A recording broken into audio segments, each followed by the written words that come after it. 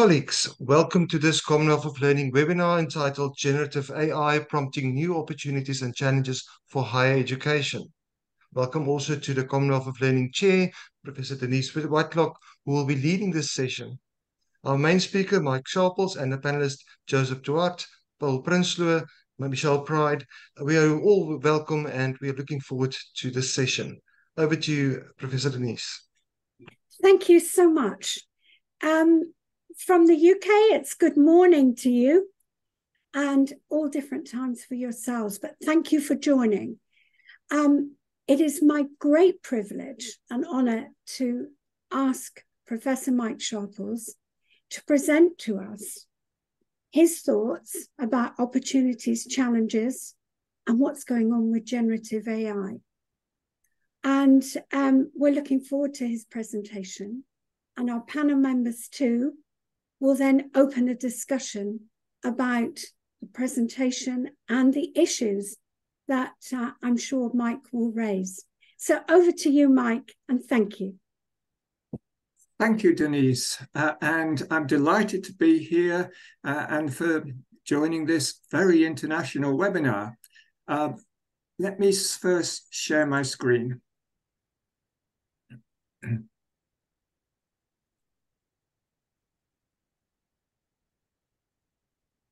So I hope you can all see the, the screen now. Good. so yes. I'm going to I'm going to give a very, very quick gallop through generative AI in education, particularly the opportunities and challenges. So let's get started. I'm going to start with ChatGPT and ChatGPT version 4 because it's the best known one. But as we'll see, there are many other generative AI tools. So ChatGPT, it's a highly trained text completer and style copier. It now has what's called a context window of 25,000 words, which means it can look back over up to 25,000 words of text, or it can go forwards and generate up to a small dissertation. It can write in any style, in multiple languages, including minority languages such as Welsh or Catalan it can be given a direct instruction, and you can see there on the top right, explain string theory in 200 words for an 11-year-old child, and it does an excellent job. It can interpret text and images, and the latest version now uh, will be available to people who have subscribed to ChatGPT version 4. You can see there on the right-hand side uh, a question that has uh, a physics question that is in French, with a diagram and the prompt is in English to answer that question. And it can not only read the text, but it can also interpret that diagram in order to answer the question. So it can interpret text and images. It's a general purpose language tool. And extensions to ChatGPT take it even further. There are plugins for maths, for science, language, media, business.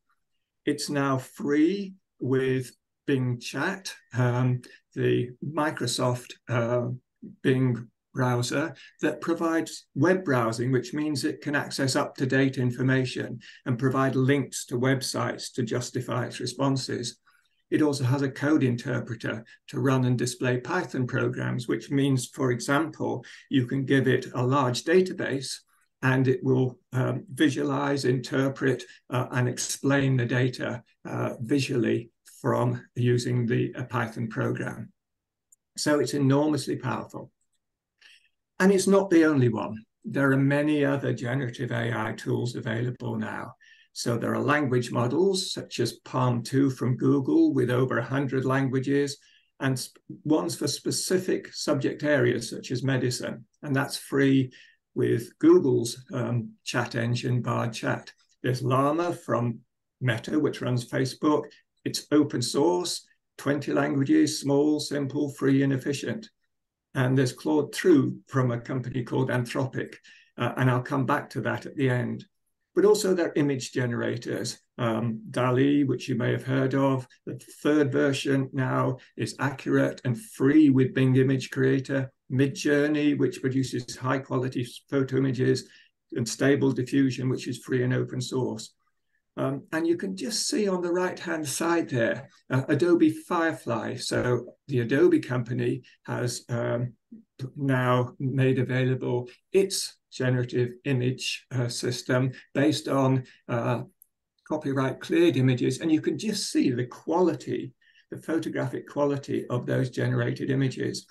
And then there are also a number of other different tools for computer code, for voice, for music, for video. You can see there just the beginnings of what generative video are and specialist ones. For example, Bloomberg GPT, which has been trained on business information.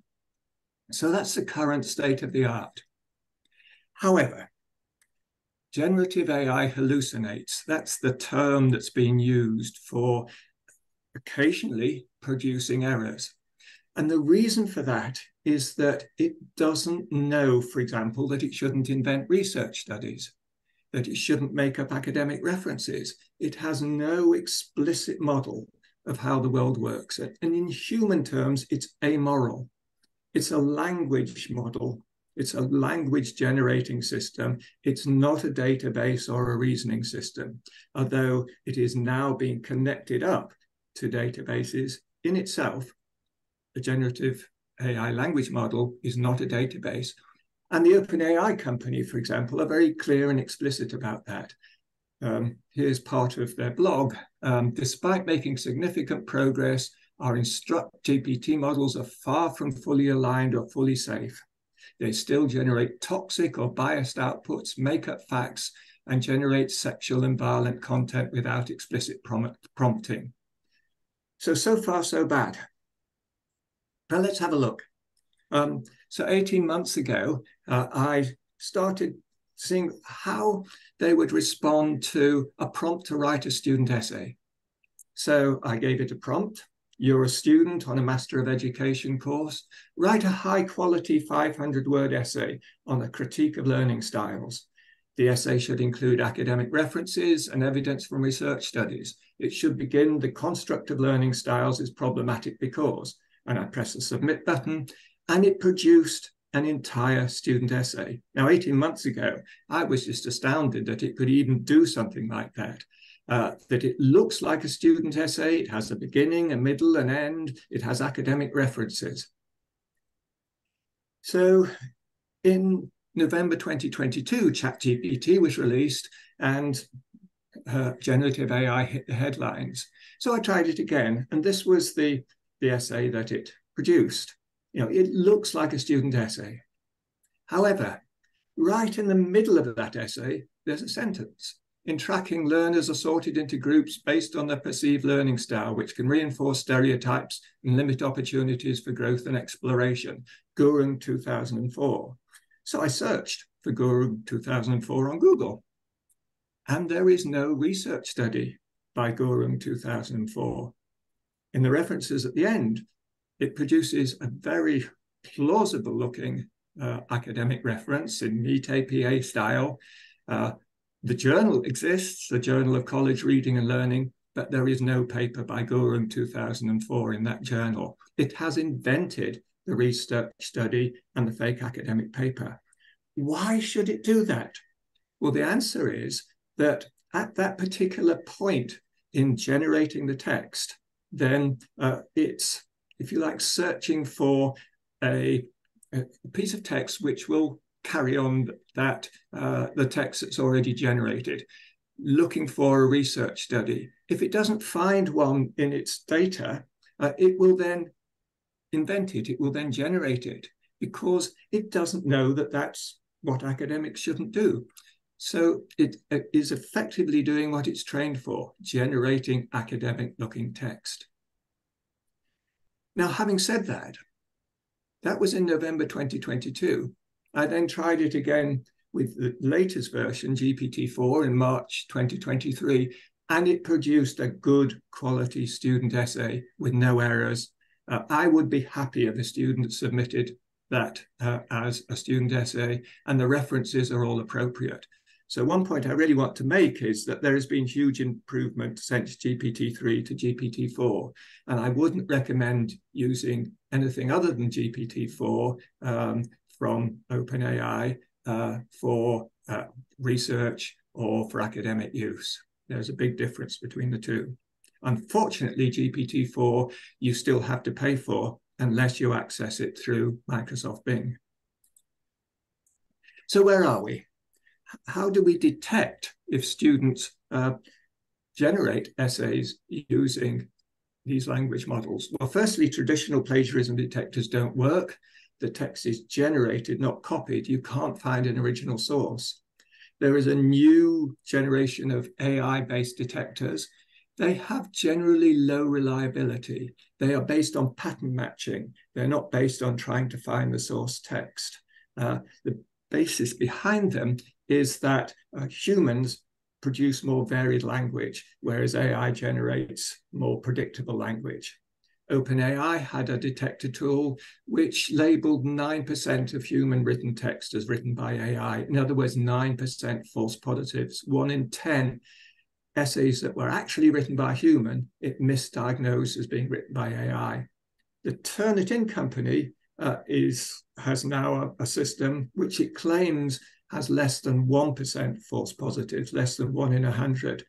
However, there is a caveat that that's only when a large proportion of the text has actually been generated by AI. But possibly the clincher here is a paper that was published a month ago, which said that AI-based detectors are more likely to misclassify the text of non-native English writers. And that's a huge issue that it's, if you like, they're biased against the texts of non-native English writers. So what should we do? I would suggest there are basically four responses that institutions can make. They could ban them, they could evade by setting invigilated exams, they could adapt or embrace. Each of them has their issues. With banning, confident students, I suggest we'll continue to use AI and we'll challenge the decisions that are based on AI detectors because, as we've seen, AI detectors aren't foolproof. To evade, going back to invigilated exams is costly and limited. Um, we could adapt, but that requires new methods of assessment, new policies and guidelines. And from working with universities, that seems to be the main uh, approach that many universities in the UK, at least, are taking to adapt towards AI. And a few institutions are embracing AI, but that involves a long process of building trust. So this is the emerging policy and strategy that I've picked up from talking with colleagues around the world. Firstly, amend written assessments to make them harder for AI to generate. Move towards more authentic assessments, such as project work. Establish guidelines for students and staff in how to use generative AI.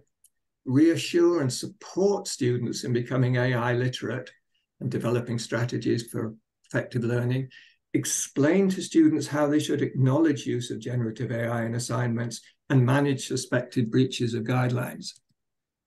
And at this point, just for the last few minutes, I want to flip the narrative away from how will AI impact education towards what are new and effective ways to teach and learn with AI.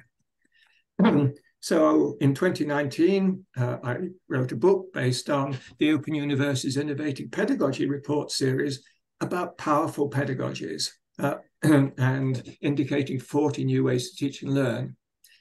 A few weeks ago, I went back to those and asked myself, how could these be augmented by AI? And to my surprise, every powerful pedagogy in that book could be augmented by AI. And I'm just going to give you a couple of examples. The first one is a personal tutor. So some of us have worked for years on trying to develop AI-based tutoring systems but now students have a tutor basically on any topic. so I gave the prompt, you're an expert tutor in English for academic purposes. I'm an undergraduate student. I want you to tutor me in the use of English for academic purposes. You should assume I have a limited initial knowledge of academic written English. You should tutor step by step through a chat dialogue, continually assessing my current state of knowledge asking one question at a time and adjusting your teaching to my response. When I ask, you should provide a summary of my current knowledge of English for academic purposes. That's called prompt engineering. That's writing a clear prompt that the system will understand. And then it started. It took me through a dialogue a, a tutorial dialogue on English for academic purposes. And it did a pretty good job, um, not only just teaching step by step, but also picking up on my responses and providing personal replies. And then at the end, I said, please summarize my knowledge of academic writing. And it produced a clear and coherent summary of my current knowledge based on the tutorial dialogue. Another possibility is as a co-designer. So it could assist a group of students throughout a design process. So the prompt I gave here, brainstorm imaginative ideas for quick and easy ways to reduce energy consumption. And these systems have what's called a temperature setting. And the more that you increase the temperature setting between zero and one, the more random it becomes, but also the more creative. So for a design, um, for instance, for brainstorming, it could be an assistant for brainstorming, but it could also take you through the whole design process, producing prototypes, critiquing prototypes, and so on. So these are just some of the ways of teaching and learning augmented by AI. And we can come back and discuss them later in the panel if you want to. Beyond GPT, well, there are there's lots in the pipeline. Microsoft Copilot is uh, going to be uh, introduced on the 1st of November. It will be generative AI integrated fully into the Office suite. So every Office tool, such as Word, such as PowerPoint, will have AI integrated into it. And so in the future, it will be no longer easy to say whether a student has been using AI because it will be deeply integrated into the tools they use. There may just be a button when you're using Word, for instance, that just says continue, and it continues with uh, that piece of text or summarize. So you may not know even that you're using AI. Uh, Google Gemini uh, is a collaboration with the UK company DeepMind, and it will include multimedia, networked um, systems, and problem solving. So it will go beyond just text generation to being a problem solving system. And in the future, social generative AI will integrate with social media and drive social media and interactive entertainment. So we're only just at the start of this um, AI revolution. So to finish, what I want to suggest is firstly, to use generative AI with care. Teaching is a caring profession, and the caring professions are probably the last that will ever be replaced by AI or robots. So we should look on um, AI as something that you use with care as part of a caring profession. We need to rethink written assessment um, we need to beware still of AI for factual writing because even the latest versions occasionally make mistakes. And then the outputs need to be uh, treated critically. We need to explore AI for creative and critical thinking and for argumentation, and to introduce and negotiate guidelines for students and staff and to work with students on developing these guidelines. There's a desperate need also for developing AI literacy, which is very different to computer literacy. Uh, it's about not only how to use these systems, but also the limitations and the ethical issues, and to adopt ethical AI for education. There are now more ethical platforms, such as, uh, for instance, Claude 2, which are trained from the outset on ethical principles. So that's a very quick gallop through. Here are some resources. I would particularly recommend the guide from UNESCO called ChatGPT and Artificial Intelligence in Higher Education, a quick start guide. It does what it says. It's a very good uh, and well balanced quick start guide. And uh, you can see some of the other um, publications from myself and the colleague Rafael Perez Perez. That's it. Um, I'll now hand you back to Denise and um, to the panel discussion. Thank you, Mike. But first of all, I think we should show our appreciation. Thank you very much. Although it was a whirlwind tour, I think you've packed everything into it that we need to discuss this morning. So, um, Paul, can I invite you first to perhaps raise some questions and issues? Oh my goodness. I was hoping I was down the line, Denise. But anyway, Mike, thank you so much for for this amazing overview. And at places I had goosebumps, and at other places I was very, very scared. but yeah, so it, it your presentation and discussion provides much, much food for thought. So recently, I discovered the work by an Italian author uh, with the name of Roberto Calasso, who wrote a book with the title "The Unnameable Present." And as we search for uh, for ways to respond to generative AI, or how it has recently been called degenerative AI, I do think for the, at this moment the development and the evolution of ChatGPT and similar services poses for me a deeper question about what this development mean for not only teaching and learning, but possibly more ominously for how we understand knowledge as well as the production and the validation of knowledge claims. So uh, I do think at this moment, in many ways, in the words of Calasso, we are faced with the unnameable present. So uh, the uh, president of the International Science Council, Professor Peter Gluckman from Auckland University, said we are at a tipping point. And then Henry Kissinger and colleagues said ChatGPT, and they were referring to ChatGPT 2 at that stage, will, and I quote, redefine human knowledge, accelerate, accelerate ch- changes in the fabric of our reality, and reorganize politics and society. End of quotes. So I have currently a deep discomfort that in our attempts to explore how to use and how to get our students to use ChatGPT even carefully, that we miss considering a more profound shift in how we understand knowledge, research, and the production and validation of knowledge claims.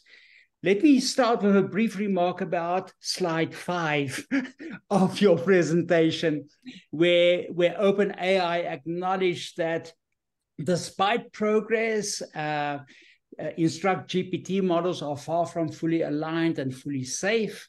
They still generate toxic and biased outputs, make up facts, and generate sexual and violent content without explicit prompting. So I want to stay with this slide for just a brief moment. Consider the following. You have young children and you are looking for a daycare person or a personal tutor. And when you work through the applications and letter of letters of reference, you find an applicant with a reference letter that states that she or he cannot be really trusted all the time, that they often express toxic and biased opinions, make up facts, and would often share sexual and violent content, and that she and he acknowledges that they are actually amoral what are the chances that you will entrust your child or your young person to such a personal tutor? Will you appoint the applicant if she or he would express views that slavery and colonization had benefits and that Hitler was a good leader? So, what are the chances that you will employ that person? And yet, that is what we do when we uncritically, and that's not you, Mike, when we uncritically accept the many possible uses of ChatGPT and how it, it likes and focuses on, on how it can become a personal tutor, provide speedy feedback. I don't want speedy feedback from an amoral actor. I, I don't want to have a speedy summary of an article of of a generator that still generates questions or answers that colonialism had benefits. So, so, and you referred to the UNESCO report, and which I think is really, really very, very good report. And they refer to the fact that ChatGPT models are trained on data from online users, which reflects the values and the norms of the global north. So, where does that leave learners with only access to ChatGPT 2 and 3 from accessing and evaluating the content. My other concern is as, as we scramble for regulatory environments and regulatory frameworks, that uh, the frameworks will lack enforcement and that that I, I, I, needed, uh, I need us to pause and reflect. The other concern I have is that ChatGPT and its likes totally ignores ownership and authorship, and it actually plunders the commons. For years, we warned students regarding using Wikipedia, pointing to its advantages and its limitations. But unlike ChatGPT, at least Wikipedia was moderated. The claims were checked, okay, by white men, but they were checked. There was an acknowledgement of sources, intellectual property rights, and copyright. And now it seems that if we embrace a web scraping tool with no regard of context, no regard to where and how it found whatever words to produce in strings that make us, us gasp with awe and admiration. So, and and I'm closing is that like authors like Neil Selwyn, Ben Williamson, and David Beer, I think we need to understand ChatGPT as a tool that does not fall from the sky, but that arises in the nexus of social, political, commercial, and economic and cultural agendas. I do think we need to uh, ask what are the agendas that gave rise to ChatGPT? Whose agendas are at play here? Uh, and Mike, I don't have I don't have the answers. Who benefits and at what cost? And is ChatGPT the white bread for the mind? The bread and circus for those looking for easy and burdenless answers. So I'm closing with, with um, the words by three authors that published recently, earlier in 23, that they stated, and I quote, the designer of a system holds the power to decide what the truth of the world will be as defined by a training set. Now, Mike, that makes me scared. that makes me very scared. And recently I came upon the work, and I'm closing with that, Denise. Uh, on, I, I, encountered the work by Antoinette Rouvroy. She's a French legal scholar and philosopher. And she says, and I quote, the real time operationality of devices functioning on such algorithmic logic spares human actors the burden and the responsibility to transcribe, interpret, and evaluate the events of the world. It spares them the meaning making processes of transcription, representation, institutionalization, and symbolization. And this raises a question for me what is left for us to do when we abdicate the burden and responsibility of making sense of the world, of transcribing, interpreting, and evaluating the events of the world to a chatbot that plunders the commons? The question is not whether ChatGPT 4 works and whether the findings are valid or whether the references are correct. I'm not there. The question for me is to identify the extent to which relying on the apparent operationality of algorithms spare as a serious series of individual and collective uh, and evaluative conventional efforts or tasks and at what price.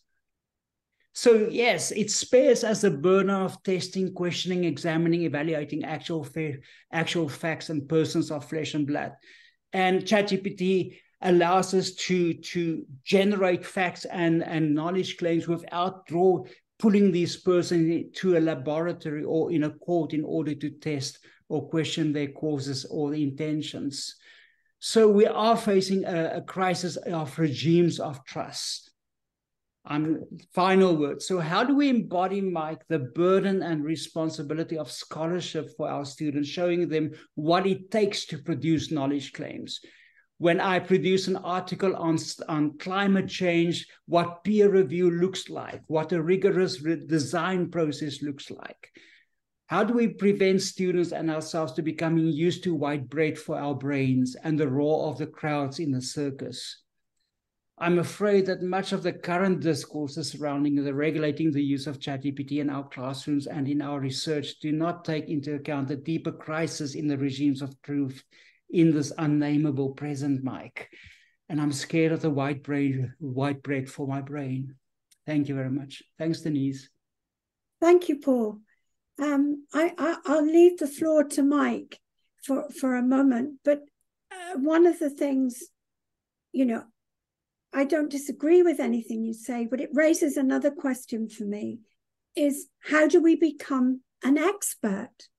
Because ChatGPT, and of course, I've been working with NLP for a while, and my work, you know, has been in AI. So I'm very excited, you know, that something is moving forward in an academic sense, of course.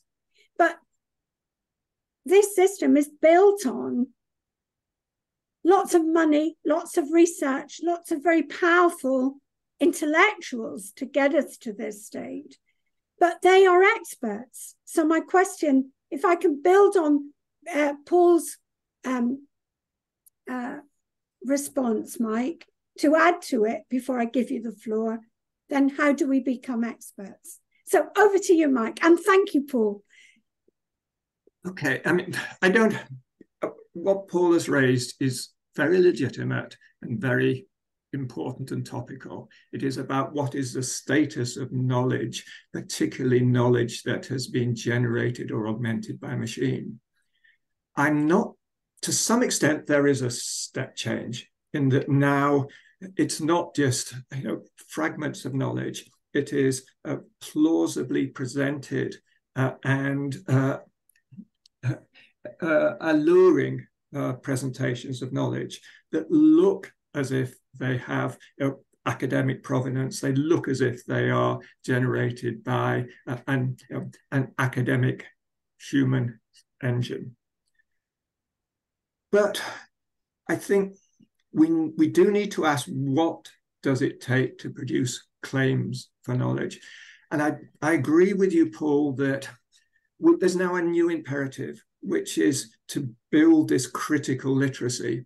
You know, it's it's been bubbling on for, for years, for centuries perhaps, uh, in you know how, how do we interrogate the knowledge that has been produced, whether it's in books, more recently in Wikipedia, through search engines, and now encapsulated in this very plausible looking text that come from generative AI.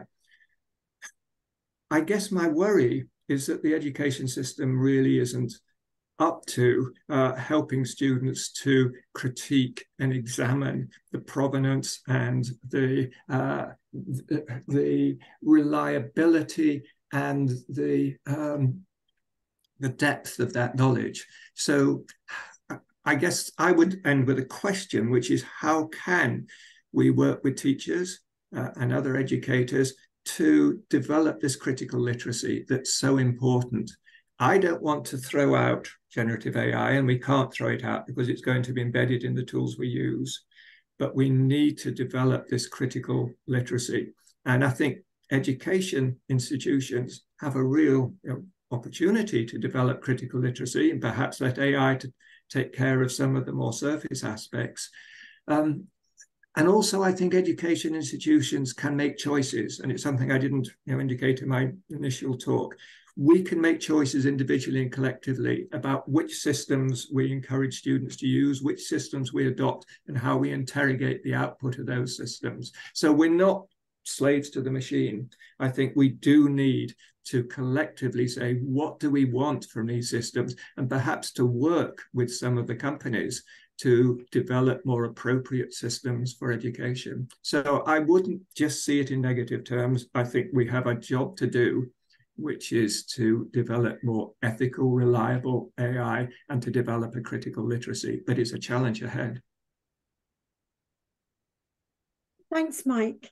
Um, Paul, do you want another word or can I ask another panelist to come in? Please, please go ahead, Denise. Thanks, Mike.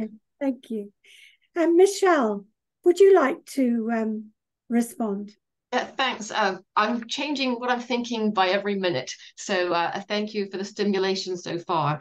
And I want to come back to the very beginning of Mike's uh, presentation around the opportunities and challenges and where as an individual you might sit on that spectrum. And I've had uh, in my institution where I've been asked to lead the institutional response to generative AI, I have had senior staff members say to me, you cannot use the word opportunities. It will mean that students will feel they have to use generative AI. Uh, I like to see myself kind of on the side of the opportunities thing. I probably am a hype person when it comes to generative AI. And I was thinking uh, around this. I believe that to be correct, that half the world's population are age 30 or under. So if we think about that, what is a younger person's response or how does a younger person embrace generative AI? There's going to be very soon a time when people won't know a world without generative AI. Mike said that it's ubiquitous, it's everywhere, it's coming. So I think it's absolutely right when Mike says we have to flip how we think. What are new and effective ways to teach and learn with generative AI? And there are so many opportunities. Can we move with the pace that we need to in the systems and processes and structures that we have within institutional within educational institutions. That would be my challenge back to institutions is shift the way that you produce content for your students. Shift the way that you produce assessment for your students. Now you mike talked about where are you on the scale? Do you prohibit? Do you adapt? Do you uh, are you one of the futurists in regards to generative ai so i think it's really important the thinking on the ground what are we doing and how do we respond? We do have to flip what we're thinking and say, how can we embrace uh, generative AI and what are the news and effective ways to teach with it? Jobs that students are applying for are already advertising for skill sets with generative AI. So we would be remiss if we didn't educate our students in how to use generative AI. Pretty much every field is using generative AI one way or another. Our students need those skills. So, so by banning it, where how are we helping our students? I think another piece from that too is uh, when we were co-creating with students, and Mike touched upon that, it's essential that we co-create with students our position statements, our principles, our policies, the ways in which we're going to embrace generative AI. And one of the things that came out from our students is they said to us, you are saying so positively to staff, embrace generative AI, yet you were saying to students, here are all the problems with it, here are all the reasons why you shouldn't use it. It was a very negative rhetoric that we were using with our guidance to students as we were developing it. And we shifted our guidance to students as a result of that student feedback. So I think it is really important to think, what are you saying to staff? What are you saying to students? How do those things align? How do we upskill staff? How do we upskill students? How do we ensure that we are prepared? Because it comes back to that fundamental question, what is a university? What is learning? If we come back to what that is, and Mike has showed us very clearly in those, those uh, ideas around what good pedagogy is. How do we take what, what is solid pedagogy and embrace it for now and moving forwards where generative AI is ubiquitous? I think the last two points I want to raise around one of the concerns that I have. So while I'm opportunist and I'm very excited, I do have a concern around bias I do have a concern that generative AI can contribute to uh, exacerbating inequitable outcomes. So, for example, we talked a little bit about the, the models that cost opposed to the models that don't cost, the differences with what you get with those models. Uh, so, there's a digital inclusion issue or a digital poverty issue, depending on which way you frame it. Uh, we have spent a lot of time decolonizing our curriculum and ensuring that our curriculum is diverse and inclusive. But if we are now going to build curriculum based on generative AI models, are we taking a bias canon that does discriminate and has the ethical issues that both Paul and Mike have raised? Are we now going to use that to create and possibly take steps backwards with what we have done with our curriculum? So for me, there's a huge challenge around bias and equitable outcomes. And my final point comes from Perttu Pölönen, who is a Finnish futurist. And he has written, and I love this, the next revolution is a human revolution to counterbalance the world we've digitalized, we need to develop creativity, perseverance, compassion, and curiosity. Those same soft skills that give our lives meaning and set us apart from machines. So ask yourselves, what can we get from, you know, what can we get from ourselves that we cannot get from generative AI? And I think for me, that is what it comes down to is that human side. How do we ensure that our human skills are better developed to live in a world with generative AI that has so many opportunities to improve who we are and what we have. Thank you, Mychelle. Um, Mike, do you want uh, another word? Just taking a couple of quick points. One is about how education institutions respond. I absolutely agree that we have to work with students, not against students in um, developing policy. My worry is that uh, looking at it from a systems perspective, um, education institutions are hugely interlocking systems, the exam system, the curriculum, um, the teacher education, that's very difficult to change. They've already been challenged by COVID. Now they're being challenged by generative AI technology. Always the approach is to say, we will do the minimum change.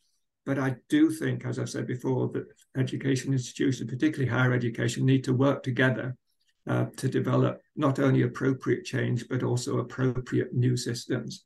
And the other one is about bias.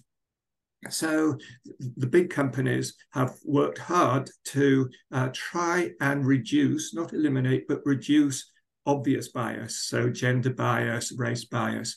But what's left is implicit bias, um, particularly cultural bias. And I've tried having arguments with um, various versions of generative AI, particularly GPT-4. And it's, it's really instructive to have an argument, an intellectual argument with it. And what comes out is a kind of persona. And that persona is a kind of woolly, liberal American persona, which is not surprising because it's been trained on you know, primarily English, primarily American texts, and then being given a gloss but um, to try and remove uh, the most obvious bias. So what's left is a kind of cultural identity which um, needs to be made clear because that cultural identity has implicit bias built into it. So you're right that bias is something that we need to explore and challenge. Thanks, Mike. I'd like to hand over to Josep now and hear his thoughts.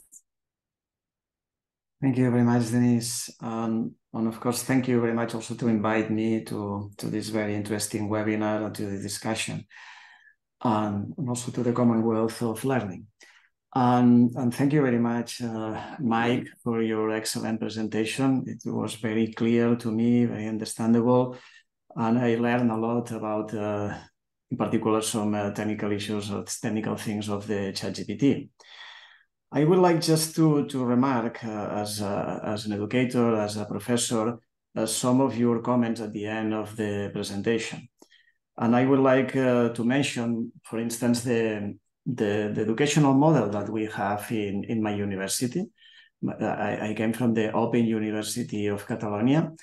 Um, and this situation uh, from the generative artificial intelligence or the ChatGPT uh, it's a big challenge uh, for us in order because we have to to rethink uh, our educational model. Because I, I, suppose many of the open educational institutions are based in uh, written uh, assessment and written activities everything it's the it's the the, the, the feedback with the students is using mails and write things not and of course, we, for instance, I try to to put uh, in the or to ask to ChatGPT the the assessment that we are preparing for our students or the the, the learning activities that we are uh, offering to our students, and the ChatGPT uh, replies in a very good way. That means we need uh, to rethink uh, this situation, and and I, I agree with you that at the end uh, we have to to to to ask or to, to find the, the, the basis on the education and the pedagogical practices as you as you mentioned in your book.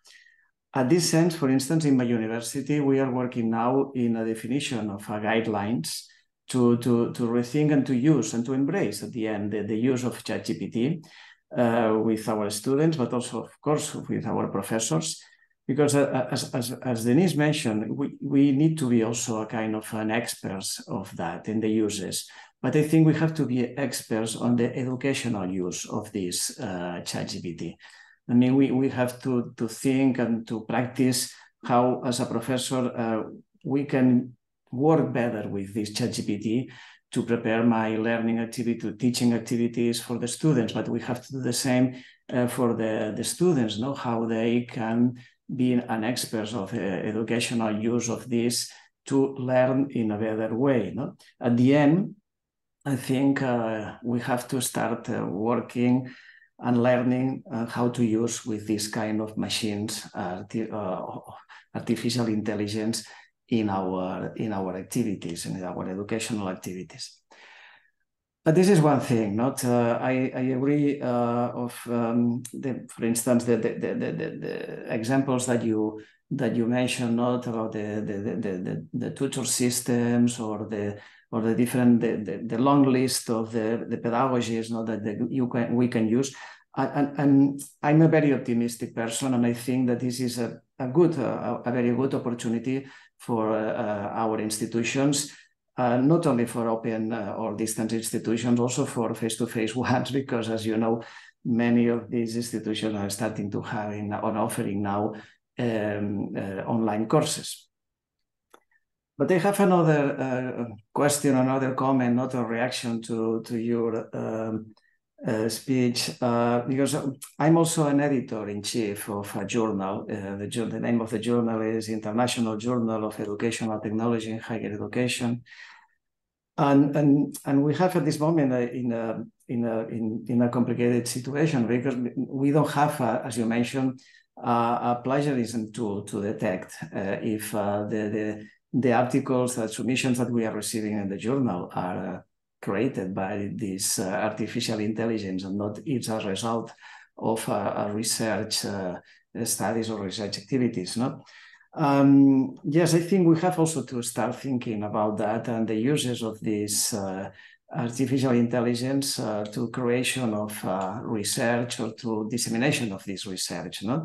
Uh, before the start of this webinar, we were talking about the possibility to use uh, ChatGPT as a reviewer, not for uh, for these uh, um, submissions. Not that maybe we have to still maintain our human reviewers because I think it's important to have it. Not, but uh, yes, uh, it's the same. For instance, in my university, we used to have a, a kind of plagiarism tools to detect the plagiarism in the students. But now, if the students are using this ChatGPT, it's very complicated to to to detect this. That, that means we have to work uh, together. Uh, we have to embrace, in in some sense, this um, this tool. Thank you. Thanks, Josep. Mike, would you like to do a quick um, round up before we open the floor because we've got some very interesting questions. I would just say one final thing, which is that I think we need to have confidence, confidence in ourselves as academics and as educators, um, and particularly about what works in terms of teaching and learning. You know, there are hundreds, thousands of companies now that are offering uh, products based on generative AI, some educational products. Many of the ones I've seen are not based on good pedagogy. So I think we have an, you know, a, a need and a duty to speak up about what works in terms of good teaching, learning, and assessment, and then how technology might enhance that. I really don't want us to become kind of slaves to the machine, that we need to be strong and speak up about what we know about, which is good educational practice. Uh, and you know, I hope we can uh, all work together to do that. Um, if so, then it will be a benefit not just to ourselves, but also to future gener generations if we can develop a new pedagogy that builds on AI rather than just challenges it. Thank you, Mike. Um, I'd like to start the panel off with one question that's come through. Um, do we foresee a situation when school will finally die? And I want to encourage our um, participants today to put their hands up then and to ask the questions themselves. But let's start with that one. Um, Mychelle, can I start with you? And then uh, we'll just go I through really, I really, really hope that the school of the future looks completely different to the school of today whatever that might be, if we are still putting peoples in rows and standing in front of them with a chalkboard, we are not doing a service to anyone. So I absolutely, hopefully, hope that we, well, we will, we will see a completely different school. But good pedagogy is good pedagogy. Thank you, Mychelle. Uh, Paul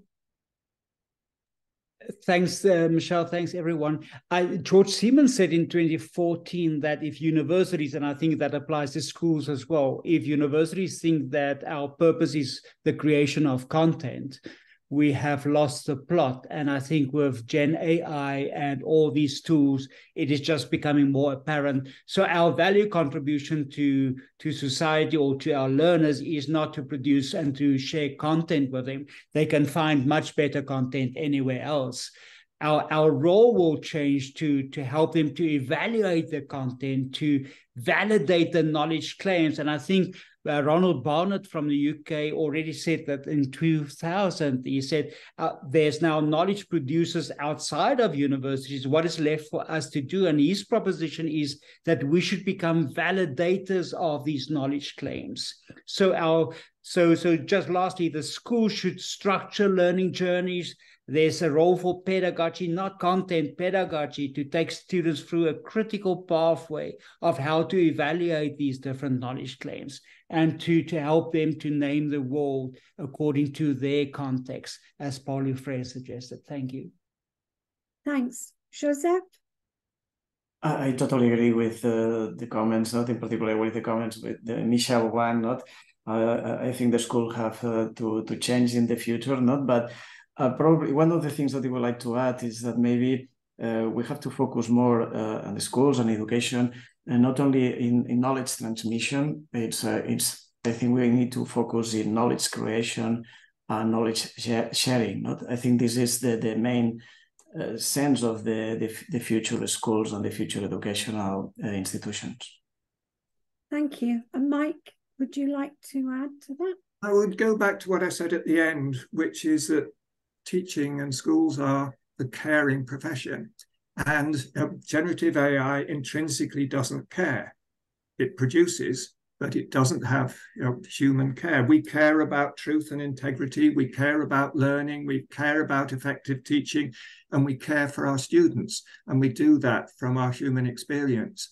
So schools will and must change, but that core aspect of caring for our students and caring for integrity and knowledge will still remain. So the new pedagogy will come in, but the core purpose of a school, which is to nurture uh, young and older learners, that will stay. So new practices, yes, but the core beliefs and the core pedagogy, um, I think, will remain. Thank you, Mike. I'd now like to open the floor. And we've a question here from Bhumika Agarwal, would you like to um, uh, tell us your question? Can we have the mic open?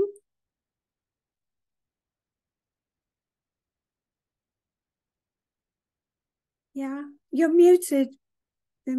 Uh, hi. So um, I recently read some research about the lack of openness of ChatGPT, and the I think the research paper also had a couple of comparisons of different AI, of different generative AI, but con- and it also used different parameters to check for openness, and ChatGPT failed on most of them.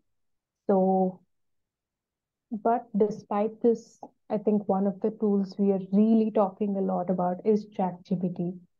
So, any comments about this lack of openness, but still the high usage?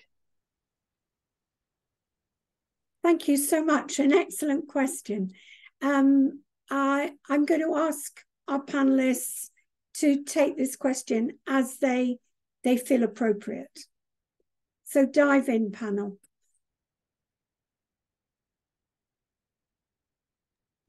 I'm, I'm happy to dive in. Oh, sorry, go ahead, Mike. No, you go, Mike.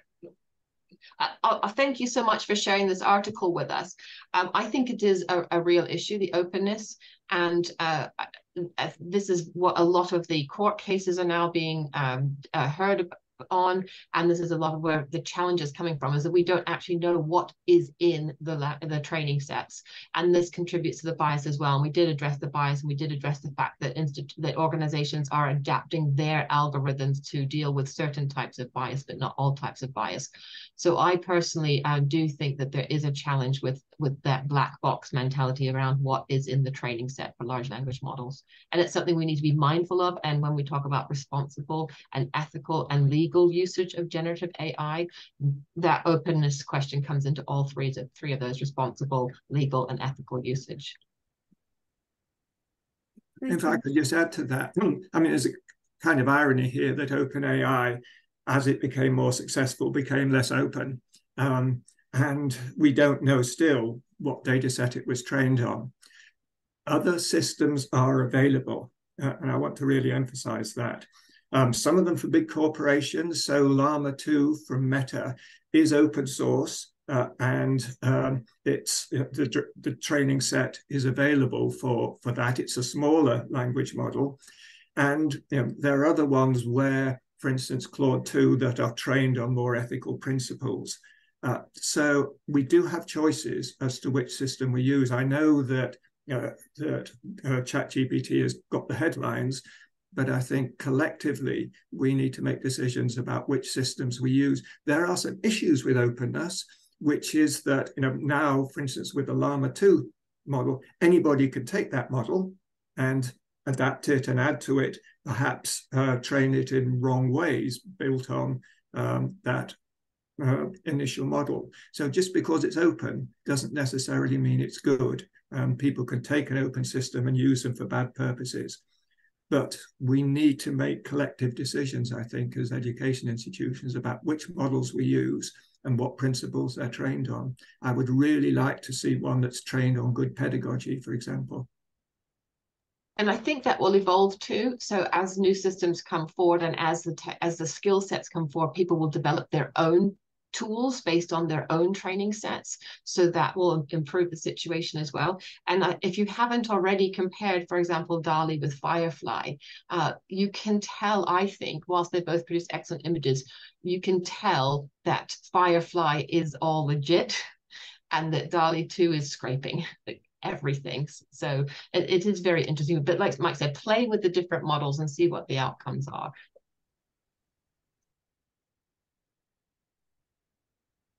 Um, can I um, ask Noor, Razina Maud Zain to ask their question?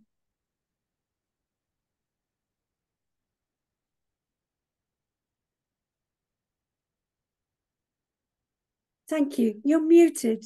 Please raise your question now.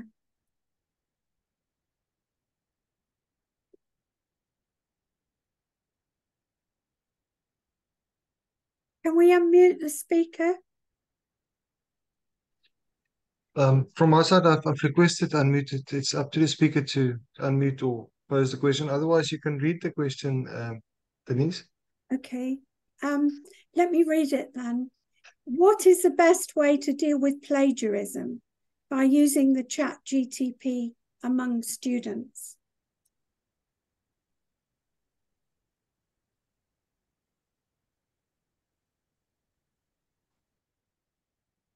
Oh, go on, I'll start.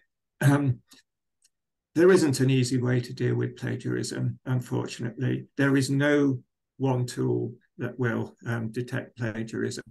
I think there are two approaches. One is if you, you suspect plagiarism, um, and particularly if you suspect a student of you know, relying very heavily on AI generation, then engage in a dialogue with that student. Don't just assume that your detector tool is accurate. You have to engage in a dialogue with the student. The other approach is to look for different methods of assessment. For example, moving towards more process-based assessment, where you, for instance, uh, have a project that student is working on and you assess that project in stages, move towards more authentic uh, assessment, uh, which is based on, for example, uh, placements that a student has had on previous lab work. So we, uh, and there are universities now that are coming up with, they're not AI proof methods of assessment, they're not fail safe, but ones that oh, we've been talking for a long time about good methods of assessment, moving towards more authentic assessment, process based assessment. This is an opportunity to explore more diverse ways of assessment, not to outwit AI, but to test other aspects of students' understanding, particularly their critical reasoning. Denise, if I can just come in because, oh, sorry, Paul, I, I get concerned because quite often I hear people equate generative AI with academic misconduct, and then they can't think beyond anything other than generative AI means our students are going to cheat. There's a small percentage of students have who have always cheated and will always cheat whether or not they use generative AI. So I agree completely with Mike. We need to then reframe our thinking how can we best work with our students so that they can demonstrate their learning in the age of generative AI? Uh, Paul, you had your hand up. Yeah, thanks, Mychelle. Uh, Mike, can, with large education, open distance education systems like the Open University of the UK, with more than 200, 300,000 students, uh, UNISA in South Africa with more than 380,000 students. I think ChatGPT really raises the bar on a number of levels, not to check plagiarism, but to how what advice would you give to large scale education systems like the open university of, of catalonia or open university in the uk where you have 14000 students in economics 101 and you cannot ask an essay on supply and demand anymore i mean yes. i don't have an answer to that um, josep i mean maybe maybe you can no, yes, yes, that I agree with your comments, no, because uh, before ChatGPT uh, was very clear, no, that the, the, we, for instance, in my in our university, we use uh, different plagiarism systems no, to detect this plagiarism. But I agree, at this moment, we have to to rethink everything, and we have to to start uh, uh uh, changing on, on thinking in a new pedagogies in order to to to to change the way that we are using or preparing our teaching activities, not, and in that sense um, this is, for instance, the the meaning of the guidelines that we are working now in this in our moment in in in, uh, in our university in this moment, uh, and, and, this is a, a work which is is easy because for the teachers and and also for the students, um, it's it's it's complicated not to to understand uh, and also to find new ways uh, to assess uh, the, the the the the learning activities, not but Mm, yes, we have to do it uh, because at the end, uh, as I said, uh, I think we, ha we have to start uh, working together with these uh, machines, not? Thank you, Josep. Uh, Christiana, you had your hand up. Would you like to raise your question now?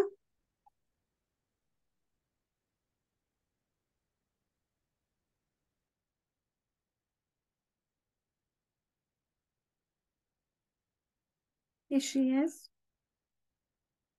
Can you unmute your mic, Christiana?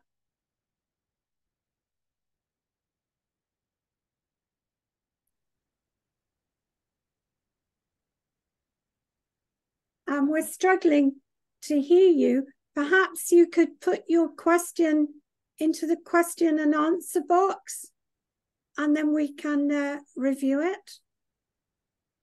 I'm sorry, we can't hear you.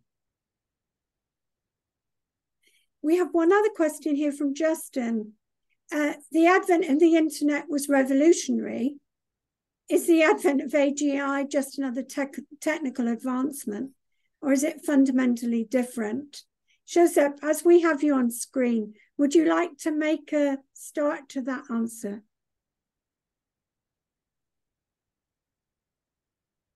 You're muted. Oh, yes. Uh, it's uh, which one is the Janine? Uh, Justin Cross. It's in the Q and A. Oh, in the Q and A. Okay. If I understood uh, correctly, I think uh, yes, uh, uh, it's uh, it's a big change at this moment. Not it's something that it's not. It's it's very new, not for for us, and, and it's important. Not as as I said at the beginning, that it's an, a great opportunity, you know, to to rethink um, our educational models. Um, and I think it's not um, something that we have uh, before. Probably we can compare this with the starting of the of the internet, not when we start uh, using and that uh, changed, the, for instance, for open universities um, before internet use uh, uh, and after internet, not. But I think now we have uh, a, a, clear new situation that we have to to work with in order to define a new pedagogies for this this situation. Thank you, Josep. Um, we are um, running out of time. So I would like to make some final comments. I think um, Mike's introduction gave us a lot of knowledge some know how, where we can go and look, and how to find out more, and offering a really considered opinion about what's going on. But with a discussion from all our panelists, and I'm delighted we had such a deep discussion because we've raised the level of how to think about these issues. For me, uh, you know, we've moved into epistemology. And in fact, in some ways, we're moving into philosophy. So um, if we think back to what our first universities were constructed for and how they um, how they actually trained their students, which I've been looking at lately, is um, it was all about argumentation. And a student could only try to deconstruct the master's argument. And only later could they start to construct their own. And in the UK, we're at a time now when we're going to have a REF, a research assessment exercise on all our work in the universities. And we're talking about four star publications. And what's a four star publication? Now, maybe ChatGTP can tell us very concisely, but actually, a four star publication is where there is a very strong narrative and argument and a discussion about the topic from both sides, but made, but then ending up with your own opinion from evidence and uh, looking at other sources. And I'm very delighted to say that's what we've done today. And we've really set the ball rolling. And, you know, what does all this mean? Because, you know, with Paul's discussion and raising ethics, which of course are important and very, very important about bias. But what does it all mean? Um, I think Mike made a very important point. You know, this is just a system, it doesn't know. In fact, it's a child, it's amoral, it knows nothing. All it knows is to create more text that follows on in a logical way. So the academic community needs to take this problem, adopt it, embrace it, and deal with it, and raise the level of our own scholarship, which can enthuse our own students. And in fact, the final issue that I think you've all raised is what does it mean to be human? And let's take that forward. But thank you to all our guests and speakers today, and to you for joining us in this very exciting discussion.